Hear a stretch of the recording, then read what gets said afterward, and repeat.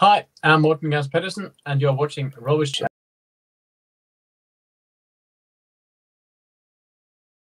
Hello and welcome back to the Rovers Chat YouTube channel. I'm back for a transfer talk, as you'll tell by the title and the graphic around me. We're just going to look at some of the transfer rumours over the last week. Since I last recorded one, it's really hotted up. You know, we're going to have everything covered from the last seven days or so in terms of transfers. And we'll try and build a bit of a story, see where the window's actually at at the moment, and see if Rovers actually going to sign anyone or let anyone go. So let's just get into it. So we'll start with an update from Rich Sharpe. Rovers waiting game for the January transfer breakthrough. Says Rovers are playing for the uh, playing the waiting game in the bid to make breakthroughs. They've identified targets and made contacts and they're waiting decisions. Now Rovers are in this situation where we got to wait because we can't go out and outbid clubs. We go for players that other clubs are going for, as we'll discuss in this. And you know, you look at all the factors going into it, and we're expecting to wait. January's quite quiet. I think there's been 24 championship signings, and 14 have been made by the bottom six. So that really sums up the need for transfers in terms of those bottom clubs and how the rest of the league's having to wait. So it's not something that I think we should really worry about. In terms of incoming, so there's been a lot of rumours. The first one I want to discuss, Dennis Undav. I hope I pronounced that right. Rovers are interested in signing him on loan for the season. Uh, 26 year old eight appearances for Brighton, scored in a cup game at Middlesbrough, and he's got a really good record. I put this out on Twitter uh, earlier today, yesterday, from when you've seen this. Dennis Undav, 117 goals and 53 assists and 245 appearances. He's played the fourth team and third team of Germany, uh, and also the top tier of Belgian football, scoring 43 and 63, and that makes me want this signing. It's a good league. I hate to say but Burnley've done so well in the transfer market going in that league. You know, Vincent Kompany knows it well. Uh, and they've done really well getting players out of that league. And I think it'd be a good market for us to go into. We did well in the Belgian market with Kaminski, uh, and I think it'd be a really one, good one for us. So let us know below. Would you be happy with that one?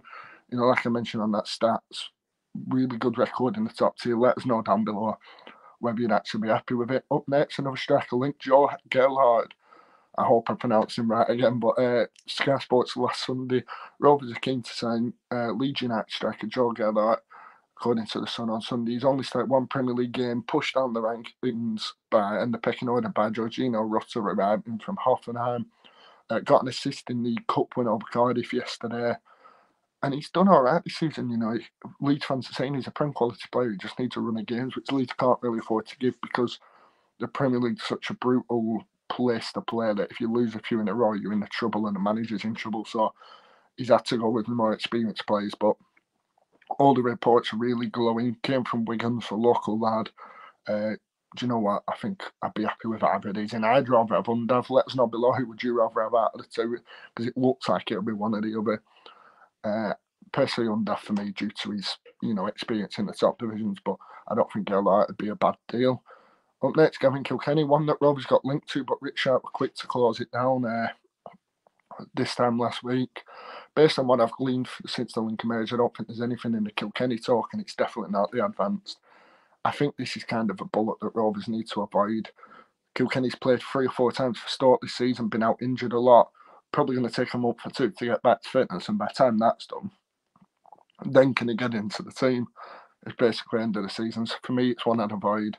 Uh, but you know, he is highly rated, but I just think I'd avoid it. I don't think it's the right uh, the right move for us. So let's go on to. Uh, the big news, which we'll start off with, I think it's only fair to start off with this news Ben Brereton Diaz. Now, from the Express Sport, they've put an article out on Wednesday. Uh, Villarreal find Ben Brereton Diaz agreement as Danjuma received transfer blessing. Obviously, Danjuma from Bournemouth don't involve us though.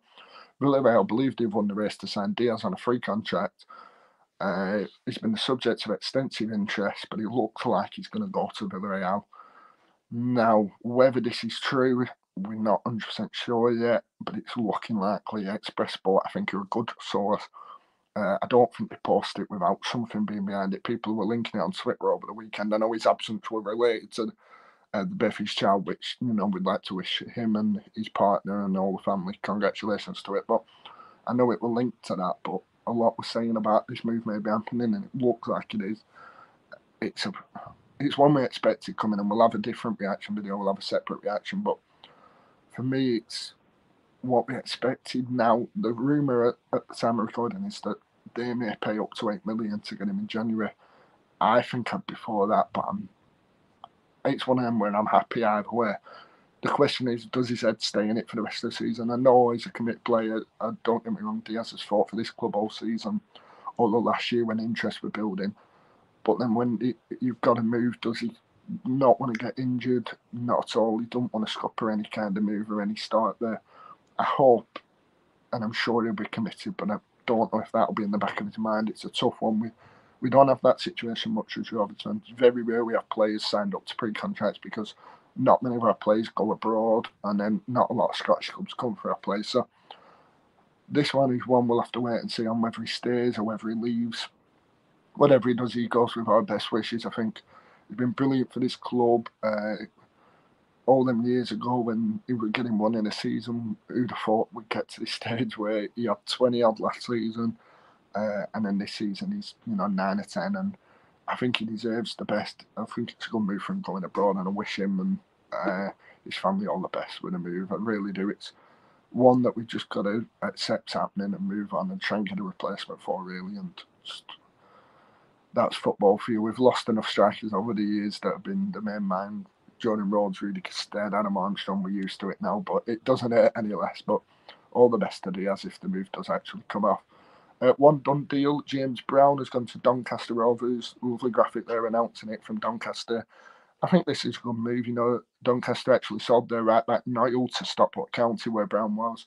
Now Brown's gone in there. I think it's a good move for him. A good club, you know, really good club. I think it's a big club in League Two one that won a challenge at the right end of the table and one that a positive club for him. And I think this is good for him. Whether he's in the plans next year, we don't know. Probably not with JRC here and Carter, Callum Brittain, but good move for him. And I think this is where he needs to properly implement himself, get there. And then even if it don't work at Rovers, he should get a League One or League Two move. Uh, just to round us off, a few little rumours to tie up. Clinton looks like he'll be staying the season. We've been playing for Stuttgart and Blackburn already this season. It's the only two clubs he can play for, so it doesn't look like Stuttgart will recall him. Dilan Markanday looks to be sticking around after impressing off the bench at Rotherham and impressing with his start against Norwich. He looks like he'll be a part of this team going forward. Uh, and Tayo Edun's, as far as we know, set for a move to Charlton. We've been waiting for Edun to go for a bit, especially since the last transfer. Sure, at the time of recording, he's not gone. He shouldn't have gone by the time I put this out. But that's where we're at. Let us know down below what you think of all the rumours. Undav or Gelhardt and the Brereton Diaz one really are the main ones. Are you happy with either of them strikers? What's your take on uh, Diaz's potential move to Spain? Let us know below. We'll be back soon for a new video. Hit like and hit subscribe. We'll have the rest of the transfer window covered and the entire season and beyond. We really appreciate your support. So do all that stuff. Like, subscribe, comment, and we'll be back soon for a new video. Thank you for watching. Like I said, the support's always appreciated.